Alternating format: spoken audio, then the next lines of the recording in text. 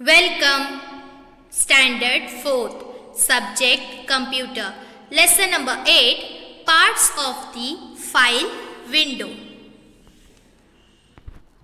What is a window?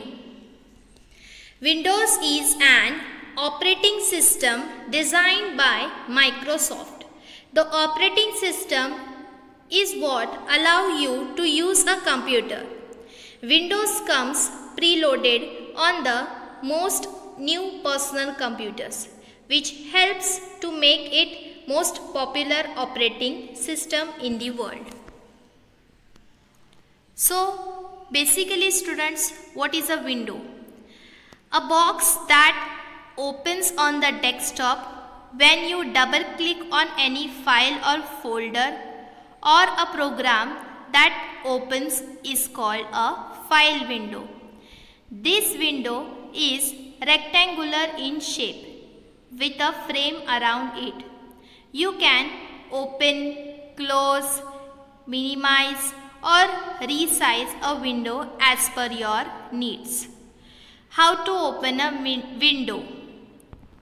Double click on this PC icon on the desktop. A window opens. You can see in this image students, right? Or Click on the File Explorer icon on the taskbar. The File Explorer window will open.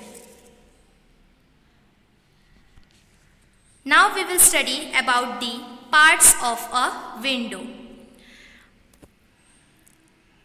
A part. A is the title bar. So this title bar displays the control buttons even it displays the window name and quick access shortcut buttons.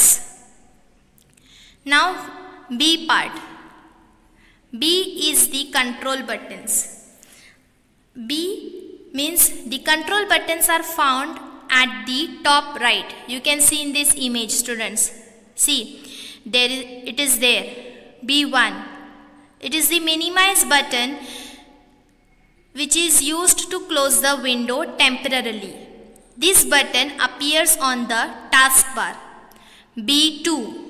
It is the maximize button. Students, it enlarges a small window to fill the entire screen. When a window is maximized, the maximize button changes to restore down button.